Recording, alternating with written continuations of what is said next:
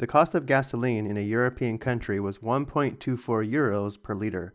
What would the equivalent cost be in US dollars per gallon? Use the following conversions.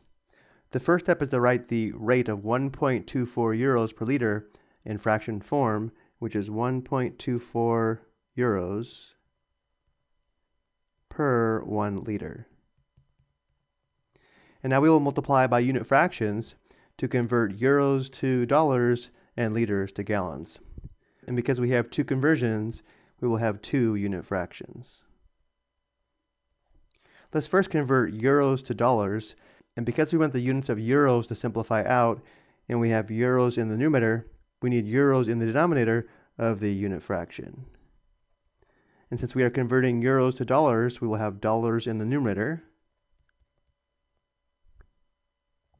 and the conversion is $1 is approximately 0.876 euros, and therefore the first unit fraction is $1 over 0.876 euros. Notice how now, because we have euros divided by euros, the units of euros simplify out. And now let's convert liters to gallons.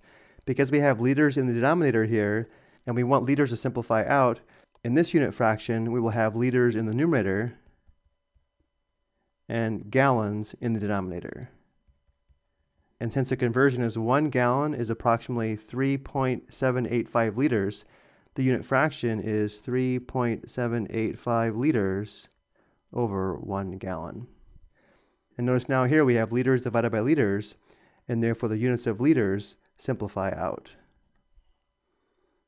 Notice now we're left with the units of dollars per gallon.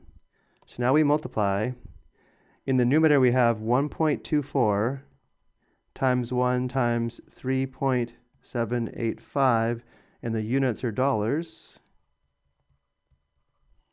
In the denominator, we have 1 times 0.876 times 1, which is just 0.876, and the units are gallons. The next step is to find this quotient here. Let's do this on the calculator.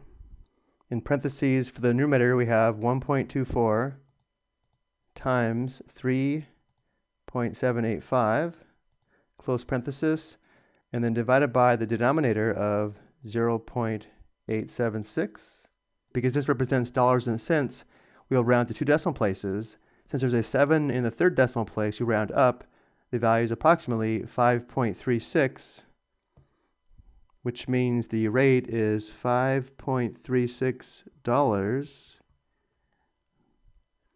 And to make this a fraction, the denominator would be 1 and the units are gallons. Or we could just say per gallon. So the unit rate is $5.36 per 1 gallon. Or we can say the equivalent cost is $5.36 per gallon.